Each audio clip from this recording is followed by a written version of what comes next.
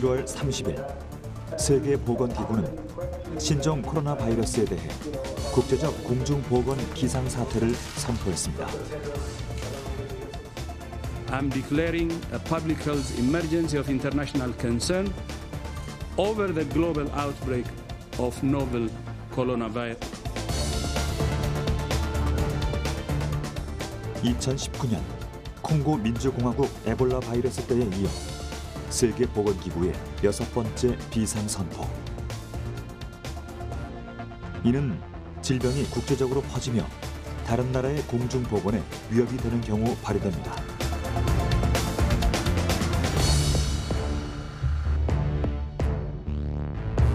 중국에서 발병되기 시작해 우리나라를 포함한 28개국에서 감염 사례가 발생한 신종 코로나 바이러스 감염증.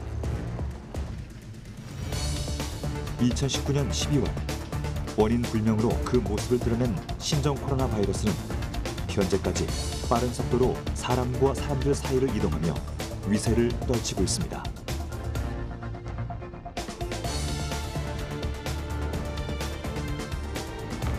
질병관리본부는 신종 코로나 바이러스 감염증의 중국 내 확산되고 있음에 따라서 국내 유입 가능성이 증가하여 1월 28일 0시를 기해 중국 전역을 검역 대상 오염 지역으로 지정하고 사례 정의도 변경하여 대응을 강화하도록 하겠습니다. 개인의 생명과 국가의 안전을 위협하고 있는 신종 바이러스.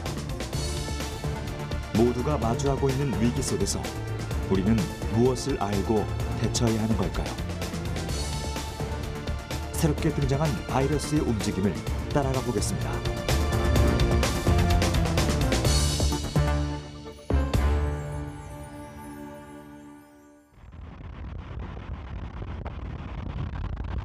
지난해 12월 12일 중국 후베이성 우한시에서 신종 코로나 바이러스의 최초 감염자가 나타났습니다. 중국 보건 당국은 이 지역의 수산물 시장에서 판매하는 과일 박쥐로부터 감염이 시작됐다고 밝혔죠. 박쥐를 식용으로 판매하는 것이 우리에겐 조금 생소하지만 이 시장에선 오래전부터 박쥐뿐만 아니라 뱀과 같은 야생 동물들이 산채로 판매되고 있습니다. 문제의 심각성은 신종 코로나 바이러스의 전염성과 우한시의 도시적 특성으로 인해 매우 빠른 속도로 퍼지고 있다는 사실에 있습니다.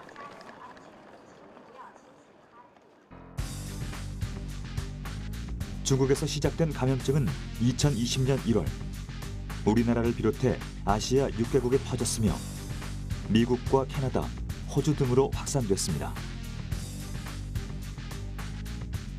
2월 13일 기준에 따르면 총 28개국으로 퍼져나간 신종 코로나 바이러스 감염증 확진 환자 수는 약 4만 5,100명. 이 중 사망자는 1,110명을 넘어섰습니다. 어, 비상사태라는 거는 이제 그, 그 국제 WHO에서 PHEIC라는 표현을 쓰는데요. Public Health Emergency of International Concern 그래서 국제적으로 걱정할 만한 게 이게 용어가 굉장히 의미가 있는데 국내적으로 걱정하라는 게 아니라 국제적으로 걱정하라는 겁니다. 그래서 국가 간에 공조를 합니다. 환자가 몇 명 생겼는지 어떻게 돼 있는지 어, 유전자 정보는 한 나라에서 중국에서 뽑으면 그 유전자 정보를 어, 신종 코로나에 대한 유전 정보를 공유를 해서 딴 나라에서도 검사를 동일하게 하고 새로운 치료법이 개발이 됐, 으면 아직까지 되지는 않았지만 아, 이 나라에도 쓰여보자. 그래서 국제 간에 어떤 이 극복을 위해서 서로 아이디어를 공유하는 게 첫 번째고요. 1월 20일 우리나라에서 신종 코로나 바이러스 감염증 첫 번째 확진자가 발생했습니다. 인천공항 검역소는 어, 제 1월 19일 중국 우한시 입국자 검역을 하는 과정에서 발열, 오한, 근육통, 근육통 등의 증상이 있는 환자를 발견하여 검역조사를 실시하였습니다. 검역조사 결과 조사 대상 유증상자로 분류하고 곧바로 국가지정 입원 치료 병상 인천의료원으로 이송하였습니다. 어, 질병관리본부는 환자의 검체를 채취하여 신종 코로나 바이러스 감염증 검사를 시행하여 오늘 아침 8시에 확진 환자로 확정을 하였습니다. 현재까지 국내 피해 현황은 확진자 28명, 사망자는 없습니다. 하지만 의심 환자가 증가하고 있다는 점에서 긴장을 늦출 수 없는 상황입니다. 오염 지역인 중국에서 감염된 후 우리나라에서 증상이 확인된 사람을 1차 감염자라고 부릅니다. 중국에 방문하지 않았지만 1차 감염자와의 접촉을 통해 신종 코로나 바이러스가 전염된 이는 2차 감염자. 3차 감염은 2차 감염자를 통해 질병이 옮은 경우를 말합니다. 3차 감염자가 나타난다는 건 신종 코로나 바이러스의 확산 속도에 가속도가 붙었다는 것을 의미합니다. 접촉자의 수가 늘어나 1차, 2차 감염자와는 달리 경로를 추적하기 힘들기 때문에 감염 의심자로서 신속한 조치를 취하기가 어려워지는 것이죠. 이 사- 감염의 숫자가 이, 이 방역으로 통제할 수 없는 수준으로 완전히 몇 백만, 몇, 시- 몇 천만으로 넘어가 버리면 그건 이제 이 지역 사회에서 소멸이 안 되고 계속해서 도는 거죠. 그러니까 마치 지금 독감처럼 그건 소멸하지 않고 아마 계속 돌 거예요. 근데 그것이 계속해서 도느냐 소멸하느냐는 절대적인 감염자의 수가 우리가 통제할 수 없는 수준으로 몇십만 명, 몇백만 명으로 가버리느냐 아니면 방역으로 통제할 수 있는 수준으로 어, 천명 이내, 몇백 명 이내로 막느냐 그거에 달려 있습니다. 신종 코로나 바이러스 감염증. 우리나라뿐만 아니라 세계를 뒤흔들고 있는 이 질환의 정체는 과연 무엇일까요?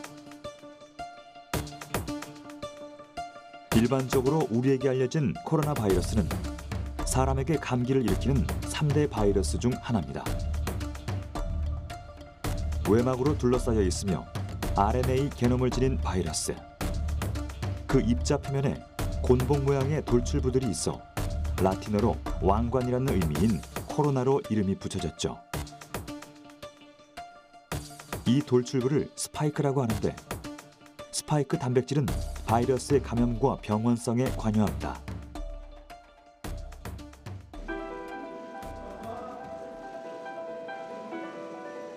코로나 바이러스는 주로 겨울철에 발생하며 감염 시 우리가 알고 있는 감기 증상인 두통, 기침, 인후통을 동반하는데요. 전염성이 강하고 사망률이 매우 낮습니다. 그렇다면 신종 코로나 바이러스와 일반 코로나 바이러스의 차이는 무엇일까요? 이번에 그 발견된 우한 어, 코로나 바이러스 nCoV는 에, RNA 바이러스입니다. 에, RNA 바이러스, 바이러스는 에, 그 자체가 좀 불안정하고 아, 숙주에 들어가서 복제를 하기 때문에 그 복제되는 증식 복제해서 증식되는 순간에 돌연변이가 많이 일어납니다. 그래서 일반적으로 바이러스에는 에, 돌연변이가 심하다 이렇게 볼 수- 보시면 되겠습니다. 예. 염기 서열 분석상 코로나 바이러스는 알파, 베타, 감마 그리고 델타로 분류되며 감마와 델타는 주로 조류, 알파와 베타는 박쥐나 포유류를 중심으로 전염되는 바이러스입니다. 이 중 사람에게 감염되는 것은 두 개의 알파 코로나 바이러스와 네 개의 베타 코로나 바이러스인데요. 베타군에는 우리에게도 잘 알려진 사스와 메르스 코로나 바이러스가 속해 있습니다. 특히 사스가 포함되어 있는 베타 코로나 바이러스 B군은 동물과 사람을 동시에 감염시키는 인수 공통 감염 바이러스로 상태가 불안정한 RNA 바이러스인데요. 신종 코로나 바이러스 또한 유전자 재조합으로 돌연변이가 쉽게 발생하는 베타 코로나 바이러스 B군에 속하는 것으로 밝혀졌죠.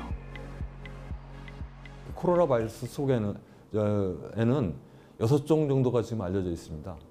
그중에 네개 정도는 일반적인 감기로 보시면 되고 나머지 두 개가 이제 메르스 코로나 바이러스, 사스 코로나 바이러스가 되겠습니다. 이번에 에, 중국 우한에서 발생된 에, nCoV, 예, N 코로나 바이러스는 사스 코로나 바이러스에 속하게 됩니다. 특히 그 박쥐 사스 코로나 바이러스하고 한 89% 정도의 에, 유전자 유전 정보에 일치 에, 유전 정보가 일치하고 있다라고 보시면 됩니다. 예. 신종 코로나 바이러스 감염증에 대한 사람들의 우려가 어느 정도인지 단편적으로 확인할 수 있는 건 마스크의 사용입니다. 거리마다 대부분의 사람들이 마스크로 얼굴의 반 이상을 가리고 있는 모습을 확인할 수 있는데요. 이는 신종 코로나 바이러스의 전파 경로를 비말 감염으로 추정하고 있기 때문입니다.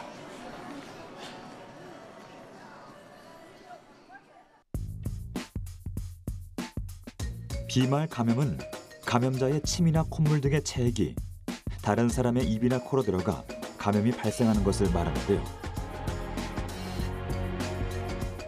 주로 기침을 할 때 약 5마이크로미터 크기의 침방울이 3,000개 이상 분사되며 멀기는 2미터까지 날아갑니다. 때문에 비말 감염을 막기 위해선 감염자가 우선적으로 마스크를 착용해야 하죠.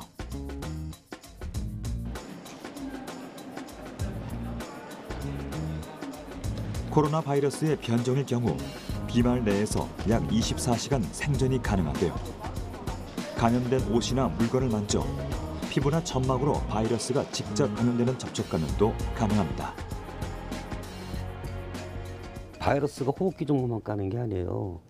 결과적으로 바이러스는 살아있는 세포만 들어가는데 호흡기 점막이 일차로 들어오는 경로고 그다음에 갈 수 있는 것은 위장관 점막, 그다음에 요로계 점막 다 갈 수 있어요. 그러면 소변, 대변에도 이 바이러스 증식했을 때는 나올 수 있겠죠, 그렇죠? 그래서 뭐 그렇다면 공기 중에 떠 있는 바이러스 입자로도 감염이 가능한 걸까요? 질병관리본부의 발표에 따르면 이번 신종 코로나 바이러스는 공기 감염의 가능성이 낮다고 합니다.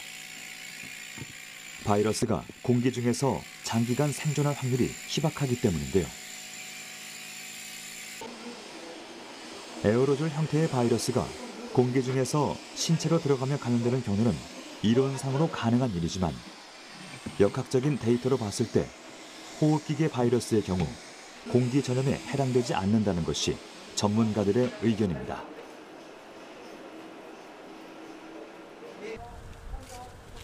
평균 3일에서 5일, 최대 14일의 잠복기를 지닌 신종 코로나 바이러스 감염증은 발열과 함께 기침, 호흡곤란 등이 나타납니다. 근육통과 피로감, 설사가 동반되기도 하는데요. 특히 일부 증상으로 폐렴이 발생하는 것이 특징입니다.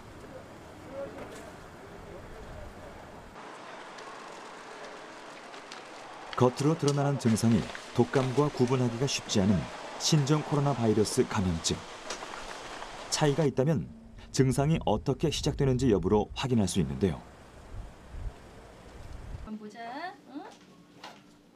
독감은 평균 2일 정도의 잠복기를 거쳐 고열과 두통, 근육통 등이 갑작스레 나타납니다. 하루아침에 일상 생활이 불가능해질 정도로 증상이 악화되죠. 반면 신종 코로나 바이러스 감염증은 초기 증상이 다양하게 나타나며 증세가 비교적 가벼운 편입니다. 하지만 나이가 많을수록 또 기저질환자일수록 신종 코로나 바이러스에 취약한데요.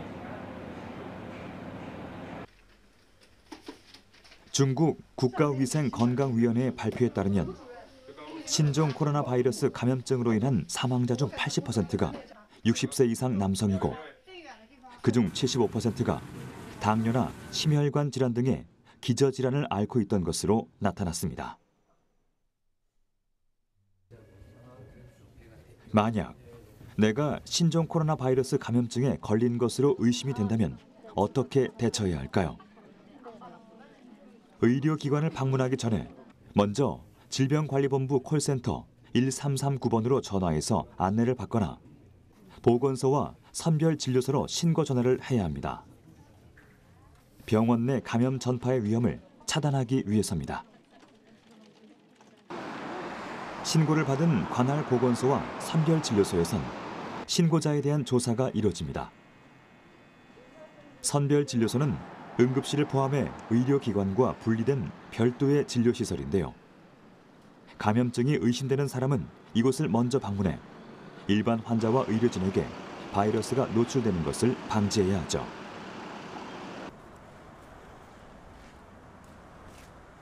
신고 대상자의 중국 방문 정보를 확인한 관할 보건소나 선별 진료소에선 이들을 동선과 증상에 따라 분류합니다. 여기까지가 감염증에 대하여 개인이 스스로 할 수 있는 1차 방어선이자 최선의 단계입니다. 신종 코로나 바이러스 감염증의 확산을 막기 위해선 이처럼 신속한 자가 진단과 신고 전화가 필수적이며 선별 의료기관의 감염 의심자에 대한 분류가 매우 중요한데요. 신종 코로나 바이러스 감염증 의심 환자 기준은 중국을 다녀온 후 14일 이내에 발열과 호흡기 증상이 나타난 자, 그리고 확진 환자의 증상이 발생한 기간 중에 확진 환자와 밀접하게 접촉한 후 14일 이내에 발열이나 호흡기 증상이 나타난 자, 신종 코로나 바이러스가 유행하고 있는 국가를 여행한 여부 등을 고려해 의사의 석연에 따라 의심 환자로 분류하고 있습니다. 감염병이 발생을 하면 가장 어, 원론적으로 이론적으로 중요한 게 그 감염원을 빨리 찾는 겁니다. 그 빨리 찾는 거가 어, 역학조사를라는 걸 하고요. 역학조사라는 거는 어, 어디서 그 질병의 근원인지 네, 그걸 하면 역학조사의 어떤 평소에 준비하는 사람들이 잘 돼야 되고요. 스킬이 우리나라 같은 경우에는 지금 어, 삼 통신망을 통해서 아주 사생활적이지만 위치 추적을 하고 또 개인이 쓴 카드 그 다음에 어, 택시 카드 이런 걸 통해서 식당 어디 갔는지를 확인을 하고 또 어, CCTV를 통해서 어, 위, 누가 기침을 했는지 이런 걸 나중에 확인을 해서 아, 그 사람이 환자구나 아니구나 이제 분류를 하는 이런 인력과 그다음에 시, 그 어떤 장비의 문제 그리고 정부 당국의 정보 공개에 대한 어떤 투명한 어, 신뢰성 이런 게 갖춰야 될 텐데 의심 환자를 분류했다면 감염증의 진단 단계가 이루어지는데요. 신종 코로나 바이러스 감염증의 확진 여부는 과연 어떻게 결정하는 걸까요? 먼저 의심 환자의 비인두에서 검체를 채취합니다. 이 검체 속에 신종 코로나 바이러스의 유전자가 있는지 그 여부를 확인하면 되는데요. 검체 속 바이러스의 양은 너무 적기 때문에 정확한 진단이 어려울 수 있죠.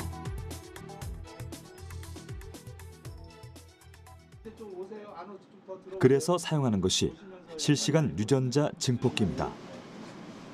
중합 효소 연쇄 반응을 통해 원하는 유전자 정보를 가진 DNA를 복제하는 원리. 만약 의심 환자의 검체 속에 신종 코로나 바이러스가 포함되어 있다면 해당 유전자가 복제돼 증폭돼 있을 것이고 그 현상을 통해 감염됐다고 확진할 수 있는 것입니다. 신종 코로나 바이러스는 치료제나 백신이 없습니다. 그렇다면 감염증 확진 환자의 경우 어떤 조치가 이루어지는 걸까요? 먼저 겉으로 드러나는 증상에 대한 치료가 우선적으로 작용됩니다. 통증이 심한 경우 진통제나 소염제를 처방하는 등 환자의 증상에 따라 대처하는 치료법을 대증 치료라고 하는데요. 이와 함께 바이러스 증식을 억제하는 항바이러스제가 투여됩니다. 현재 사용하고 있는 항바이러스 제로는 HIV 치료제와 에볼라 바이러스 치료제를 들 수 있습니다. 코로나 바이러스 증식에 필요한 단백질 분해 효소 억제제를 사용하기도 하는데요. 이는 환자가 스스로 바이러스를 이겨낼 때까지 증상을 완화시키는 방법으로 원인 바이러스를 제거하지 못한다는 점에서 대응의 한계를 지니고 있죠. 바이러스 자체로 해서 감염이 왔을 때 바이러스가 모든 장기를 직접 가서 파괴 망가지고 염증을 일으키는 건 아니에요. 우리 몸에서 적응이 안 된 사람들이 그 바이러스에 대해서 적응을 하려다 보니까 면역 반응이 일어날 거 아니에요. 그렇죠? 이런 면역 반응이 일어나면서 많은 물질들이 생겨요. 염증 매개 물질이라고 표현하는데 이런 것들이 중요 장기에 가서 염증을 일으켜요. 제일 많이 일으키는 폐이겠죠. 그렇죠? 뇌 손상, 심장, 간 이런 데 주요 장기에는 지금 이제 폐가 제일 많은데 그래서 급성 호흡기 증후군을 많이 보이잖아요. 그렇죠? 항바이러스 제로만 될 수 없다는 게 그런 문제예요. 그래서 이런 경우에는 면역 조절제로 접근을 하는 게 좋죠. 그래서 저 같은 2020년 2월 5일 국내에서 두 번째로 신종 코로나 바이러스 감염증 확진을 받은 환자가 퇴원했습니다. 폐렴 등 X선 소견이 호전되어 어, 2회 이상 시행한 유전자 검사 결과도 음성으로 확인되어 금일 퇴원이 최종 결정되었습니다. 감염증 확진을 받은 지 13일 만에 들려온 반가운 소식인데요. 두 차례의 바이러스 잔여 검사에서 음성 판정을 받은 이번 환자는 앞으로 합병증 등 추적 관찰을 위한 정기 검진만을 남겨두고 있습니다. 신종 코로나 바이러스 감염증에 대한 국내 첫 번째 완치 판정. 이후 확진 환자들의 퇴원이 이어지면서 남은 이들의 예후도 좋아질 것으로 기대하고 있습니다.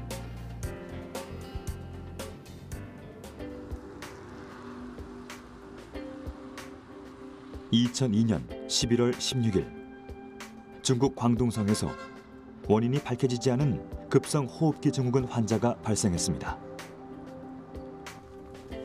증상은 고열, 기침, 호흡곤란 등 독감과 유사했죠.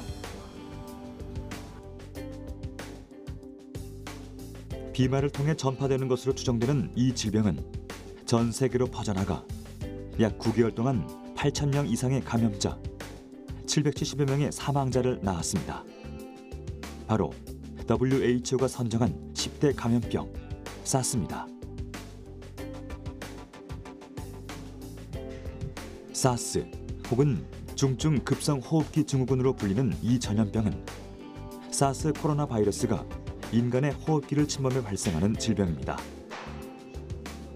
최초 감염 매개는 박쥐로 추정하고 있죠.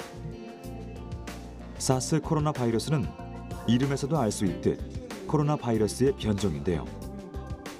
이 바이러스는 RNA 유전 형태를 가지고 있어 변이가 빠르고 위험성이 높습니다.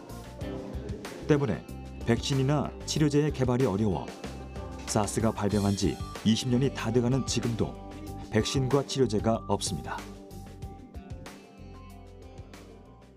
아직까지도 아주 뭐 교과서처럼 정확하게 어떤 법칙처럼 명확하게 밝혀진 건 아니에요. 그런데 어, 지금까지 역학적 데이터 모든 결과들을 종합해 볼 때 박쥐에 있는 바이러스들이 사스 바이러스와 가장 유사하고 사람으로 넘어왔던 그 당시의 사스는 박쥐에서 어떤 이유인지 모르겠지만 사양 고양이로 넘어갔고 이 사양 고양이에 있던 바이러스가 사람에게 노출이 되고 그 사람이 감염되고 난 다음에 전 세계로 퍼뜨렸다 이렇게 밝혀져 있습니다. 사스는 2002년 11월부터 다음해 7월까지 유행했으며 3월에서 5월경 정점을 찍었습니다. 국내에선 공항에 열 화상 카메라를 설치해 발해를 측정하고 감염 의심자는 격리하거나 해외에서 유입되는 전염병 환자가 발생했을 때 추적 관리하는 체계를 사스 환자 추구 관리 체계로 전환하는 등 사스에 대응했습니다. 그리고 2003년 7월 7일 국립보건원에서 국내 사스 방역 종료를 선언했는데요. 우리나라의 사스 추정 환자는 3명, 사망자는 없었습니다.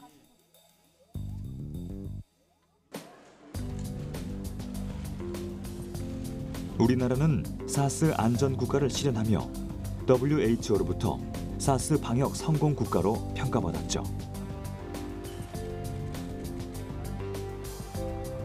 2015년엔 또 다른 신종 코로나 바이러스가 출현했습니다.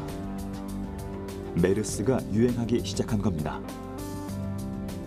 메르스는 2012년 사우디아라비아에서 처음 발생한 급성 호흡기 감염병입니다. 중동 호흡기 증후군이라고도 하죠.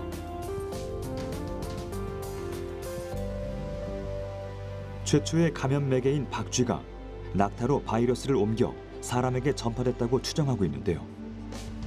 사우디아라비아를 시작으로 전 세계로 퍼져나간 메르스로 인해 2015년 9월까지 약 1,500명의 감염자, 580여 명의 사망자가 발생했습니다. 국내에선 2015년 5월 20일에 첫 메르스 확진 환자가 나왔습니다. 이후 메르스 환자가 있는 병원을 중심으로 감염증 확진자 숫자가 늘어났죠.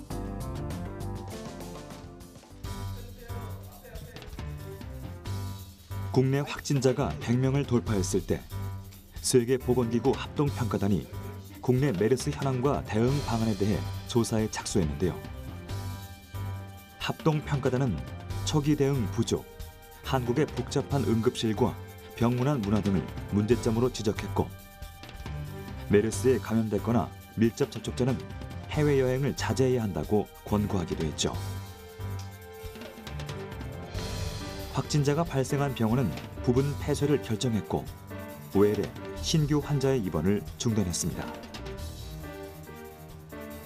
호흡기 질환자는 외래 응급실 대신 별도의 선별진료소에서 진료하고 1인실을 배정하는 등 국민 안심병원을 마련하며 메르스 감염을 예방하기 위해 노력했죠. 우리나라 그 감염병 그 대응 매뉴얼은 어, 2015년 이전과 이후로 달라질 수 있는데요. 2015년 메르스 이전에는 감염병 그 위기 대응 매뉴얼이 사실상 굉장히 좀 미흡했습니다. 그래서 2015년 메르스 사태를 경험한 다음에 감염병 위기 대응에 대한 거를 어, 실전적으로 좀 만들자 해서 당시에 이제 메르스 백서라는 걸 만들어서 메르스 백서에 기초해서 감염병 위기 대응이 현실성 있게 예, 지역사회 전파와 관련된 거 역학조사 문제, 그 다음에 보건당국이 어떻게 할지, 더군다나 이제 국민들이 어떻게 참여할지 이런 폭넓은 내용을 위기 대응 매뉴얼에 잘 담아 놓았습니다. 첫 환자가 발생한 지 약 8개월 만에 정부는 메르스의 종식을 선언했습니다. 국내 메르스 확진자는 약 180명이었으며 38명이 안타깝게 목숨을 잃었죠. 메르스 코로나 바이러스는 변이가 빨라 백신과 치료제 개발에 어려움을 겪고 있는데요. 신종 코로나 바이러스 감염증 역시 앞서 발병한 메르스와 사스의 행적을 따르는 상황. 더욱이 세 가지 감염병은 코로나 바이러스의 변종이라는 점에서 함께 언급되고 있는데요. 또 다른 공통점은 무엇일까요? 먼저 사스와 메르스 그리고 신종 코로나 바이러스 감염증의 원인균은 모두 변종 코로나 바이러스입니다. 잠복기는 최소 이틀에서 14일까지 조금씩 차이가 있으며 발열, 기침, 호흡 곤란 등 유사한 증상을 보이죠. 감염자 수는 현재 유행 중인 신종 코로나 바이러스 감염증이 가장 높습니다. 중요한 점은 전파 경로입니다. 모두 동물의 바이러스가 사람에게로 옮겨와 발병한 것인데요. 이를 인수 공통 감염병이라고 합니다. 인수 공통 감염병이란 척추 동물과 사람 사이에 자연적으로 전파되는 질병을 말합니다. 질병을 유발하는 원인체는 다양하지만 대표적으로 척추동물의 바이러스가 사람에게 옮겨와 발생하죠. 주로 인수 공통 감염병의 원인이 되는 바이러스는 베타 코로나 바이러스로 사스와 메르스 그리고 신종 코로나 바이러스 감염증의 원인균이 여기에 속합니다. 인수공통 감염병은 말 그대로 동물에서 유래된 감염병이 사람한테 넘어와서 어, 질병을 유발하는 그런 원인체고요. 반드시 바이러스만이 아니라 세균이나 바이러스, 뭐 기생충, 원충 여러 가지들이 있습니다.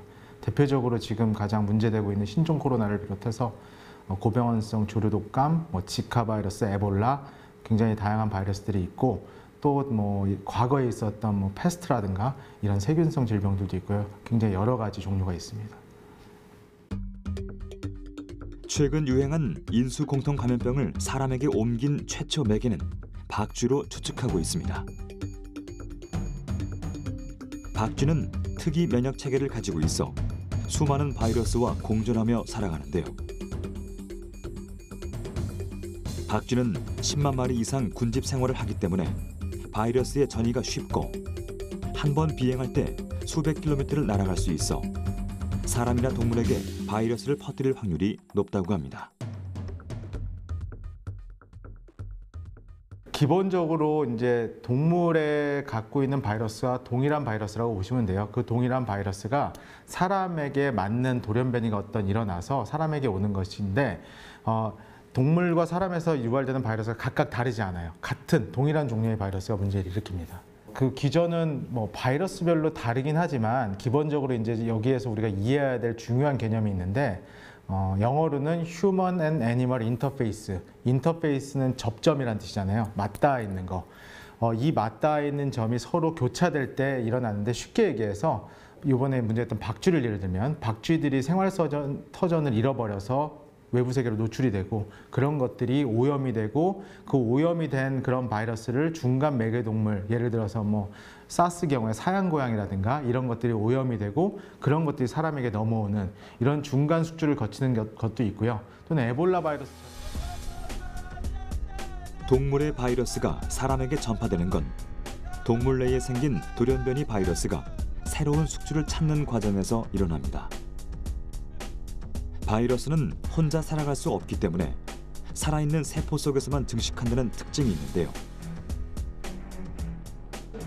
인구의 증가로 바이러스가 숙주로 삼을 수 있는 개체가 늘어나게 됐고 사람들의 지역 간 이동이 자유로워지면서 바이러스가 보다 멀리 퍼지게 된 것입니다. 자연 훼손으로 인한 동물 생태계의 파괴도 바이러스 감염의 이유가 됩니다. 삶의 터전을 잃은 동물이 사람이 사는 곳까지 내려왔고 사람과 접촉할 기회가 늘어나며 바이러스를 옮기게 되는 건데요. 이들로 인해 발생하는 인수 공통 감염병은 쉽게 예측할 수 없어 무엇보다 예방이 우선돼야 합니다. 기본적으로는 대비하는 방법은 딱 세 가지밖에 없어요. 굉장히 간단해요. 굉장히 간단한데 굉장히 어려워요. 중요한 게 진단, 예방, 치료. 그러니까 진단은 빨리 얘네들을 진단할 수 있는 기, 기법을 만드는 거고 예방은 말 그대로 백신을 만드는 거고 어, 치료는 어, 항바이러스제, 타미플루처럼 직접 치료할 수 있는 것들을 하는 건데 그런데 이제 가지수가 워낙에 다양하다 보니까 그게 쉽지가 않고요. 그거와 더불어서 사실은 이 신종 코로나는 이 바이러스를 연구하는 분들이 지속적으로 경고를 했어요. 특히나 어떤 전조 증상들이 여러 중국에서 노출이 됐었고 그래서 아, 박쥐 코로나가 굉장히 위험하다라는 전조 증상들이 있었거든요. 그러니까 이런 전조 증상들을 알고 있었음에도 이렇게 속수무책으로 당하지만 조금 더 우리가 대비를 해야 되는 측면에서 미리미리 어떤 바이러스가 노출될 수 있겠다라는 예측 연구, 미리미리 준비하는 연구도 굉장히 필요합니다. 모습을 바꿔가며 인류를 위협하는 바이러스. 흔히 세균과 바이러스를 혼동하는 경우가 있는데요. 둘은 명백히 다른 존재이며 그 차이는 치료법에서 확인할 수 있습니다. 세균은 하나의 세포로서 생명을 이루는 핵산이 존재하고 성장과 발육을 하며 동일한 개체를 생성합니다. 때문에 세포막에 작용해 세포의 기능을 저지하는 항생제를 사용하면 세균성 질병을 치료할 수 있습니다. 반면 바이러스는 스스로 분열할 수 없어 숙주 세포 내에 기생하며 증식해 항생제의 효능을 기대할 수 없습니다. 대신 증식이 명확히 알려진 바이러스에 한해 작용을 약화시키는 항바이러스제를 사용하거나 침입해온 바이러스가 작용할 수 없도록 백신을 접종합니다. 바이러스 감염원이 뭐 수도 없이 많은 거니까. 그러니까 그걸 갖다가 항바이러스제를 만드는데 그 성공률이 매우 작고 그 다음에 선택적인 치료약제가 상당히 제한적일 수밖에 없어요. 이어서 이걸 갖다가 근본적으로 발생을 안 하게 해야 되니까 바이러스 진화는 백신 쪽으로 더 치우쳐서 개발이 된 거고 세균성은 백신도 있지만 항생제나 항진균제 뭐 여러 가지 항 그 병원군 그 물질로 치료가 바이러스에 비해서 상대적으로 잘 됐고 그런 물질이 많이 개발되었기 때문에 백신보다는 치료제 쪽으로 더 우선 우선 순위가 이제 매겨진 거겠죠. 그래서 바이러스는 실질적으로 지금 의학계에서는 치료제보다는 백신 쪽 개발이 더 많이 진행되고 있다 이렇게 정의할 수 있습니다. 백신은 병원체의 감염이 있기 전에 인체 내에 면역 체계를 형성할 수 있게 돕는 물질입니다. 우리의 몸은 외부에서 새로운 물질이 침입하면 이에 대응하기 위한 면역 물질을 만들어내는데요. 병원성이 없는 가짜 바이러스를 주입해 면역 체계를 형성해 놓으면 실제 바이러스가 침투했을 때 면역 반응이 나타나 바이러스의 작용을 막는 겁니다. 하지만 백신의 개발은 생각보다 간단하지 않습니다. 먼저 질병의 원인인 바이러스가 몸 안에서 작용하는 메커니즘을 밝혀야 하는데요. 약 40년 전 등장한 에이즈의 원인 HIV도 면역 체계를 어떻게 회피하는지 밝혀지지 않았다고 하니 이 과정을 분석하기 위해 얼마나 많은 시간과 노력이 필요한지 가늠할 수 있습니다. 이후 백신을 대량 생산하는 과정에 들어가는데요. 바이러스를 유정란, 동물 세포 등 살아있는 세포의 배양에 증식시킨 다음 바이러스만 분리해냅니다. 그리고 바이러스의 독성을 없애기 위한 작업을 진행한 후 바이러스에 해당하는 원액을 배합 공정해 백신을 생산합니다. 하나의 백신을 개발하는 데는 수년의 시간이 소요되는데요. 신종 코로나 바이러스의 백신 또한 마찬가지겠죠. 백신이나 치료제는 설령 그 개발하는 시간도 많이 걸리지만 개발이 됐다고 하더라도 그것이 또 임상 실험이라든지 이런 것들을 거치려면 에, 상당한 시간이 소요되기 때문에 이와 같이 그 신종 바이러스에 의한 감염이 에, 됐을 경우에는 에, 단기간에 에, 대응할 수 있는 에, 백신이나 치료제가 없다고 보시면 됩니다. 바이러스는 크게 DNA형과 RNA형으로 나눌 수 있는데요. DNA형 바이러스는 유전 물질인 DNA를 사용해 자신을 복제해 변이가 적습니다. 하지만 숙주 세포 속으로 들어가 그 수를 늘려가는 RNA형 바이러스는 유전 정보를 빠르게 변화시켜 복제합니다. 이 과정에서 돌연 변이가 잘 일어나죠. 코로나 바이러스는 RNA형 바이러스로 변이가 빠르기 때문에 백신 개발에 어려움을 겪고 있는데요. 백신이 완성돼도 임상 시험 등의 과정이 필요한 만큼 백신 개발에 대한 관심과 격려가 필요합니다. 백신할 때 가장 중요한 건 종균. 유전적으로 종균의 역할이 있는 균을 찾아내는 게 일본이에요. 이게 종균이 이제 찾아지면은 그 다음부터 이 종균을 활용해서 어떤 백신을 갈 거냐 기술적인 거를 이제 거기 결정을 해야 돼요. 그러면 그 첫 단계가 끝났을 때 이거에 대한 안전성, 그다음에 독성이 없다는 걸 다 이제 규명을 해줘야 돼요. 그래서 실험실에서 또 그다음에 동물 실험 같은 생체 실험에서 이 효과와 안전성을 또 다시 한번 봐야 돼요. 그러고 난 다음에 이제 일상이라고 하는 그 이 안전성을 갖다가 확보하기 위한 임상 연구를 하고 거기서 통과가 되어지면은 이제 대규모 삼상 연구라는 걸 해요. 그래야지만 이게 이제 만들어지는데 이와 같은 과정이 보통 최하 8년에서 최고 15년까지 걸리고 비용이 소위 말하면 수백억에서 수천억이 들어요. 그렇기 때문에 이 백신 개발이라고 하는 거는 굉장한 시간과 비용이 소모가 되고 기술적인 게 인프라가 있어야지만 가능한 거예요. 그게 없으면 못 하는 겁니다. 예. 언제 어디서 발견될지 모르는 바이러스는 위협의 대상입니다. 이런 바이러스로부터 자신을 지키기 위해 손을 씻고 손 소독제를 활용하는 것은 바이러스를 없앨 수 있는 가장 간단하고도 효과적인 방법이죠. 비말 감염을 예방할 수 있도록 기침할 때에는 팔이나 손수건 등으로 입을 가리는 것이 좋습니다. 마스크 쓰기 역시 이와 같은 선상으로 볼 수 있습니다. 나로 인해 퍼질 수 있는 감염을 막기 위해 노력해야 하는 것이죠. 또 현 상황에 대한 거짓된 정보를 공유하거나 과장된 표현을 지양해야 합니다. 공포감을 조장해 사람들을 혼란에 빠뜨린다면 더 큰 피해를 불러올 수 있기 때문입니다. 신종 코로나로부터 우리 자신을 지킬 수 있는 무기는 공포와 혐오가 아니라 신뢰와 협력입니다. 우리는 세계 최고 수준의 방역 역량을 가지고 있습니다. 과거의 사례에서 축적된 경험도 있습니다. 또한 정부가 최선을 다하고 있습니다.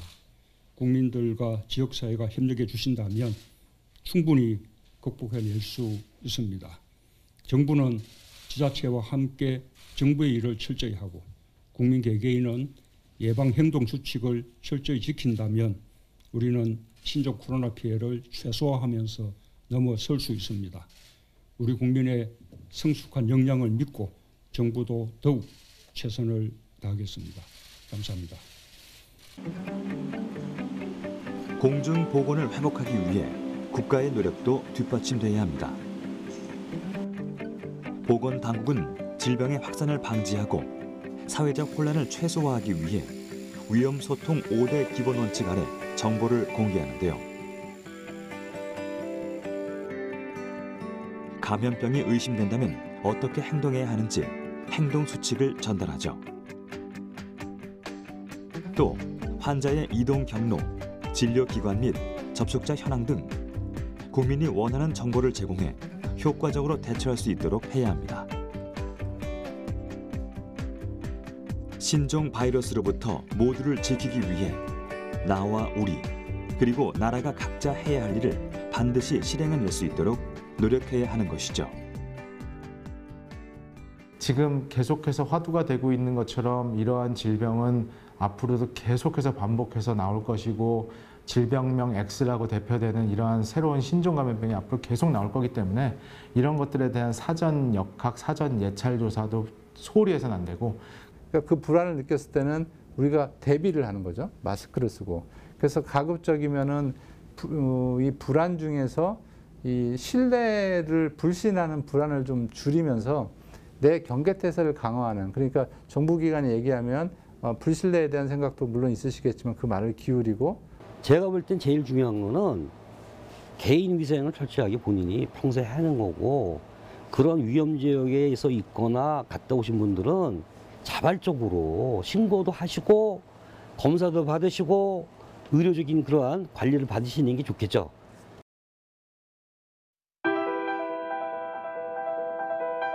우리가 존재하기 전 이미 그들만의 세계를 구축하고 있었던 바이러스. 더 넓은 영역으로 발을 내디딘 바이러스는 이제 인류의 안전을 위협하고 있습니다. 수많은 바이러스 중에서 어떤 바이러스가 사람에게 영향을 줄 수 있을지 그 위험성을 가늠하기 힘든 상황. 신종 바이러스의 역습이 시작된 지금 우리가 할 수 있는 일은 꾸준한 바이러스 연구를 통해 언제 어디에서 출현할지 모를 상황을 대비하는 겁니다. 그리고 무엇보다 중요한 것은 성숙한 시민 의식을 가지고 바이러스에 대처하는 우리의 자세가 아닐까요?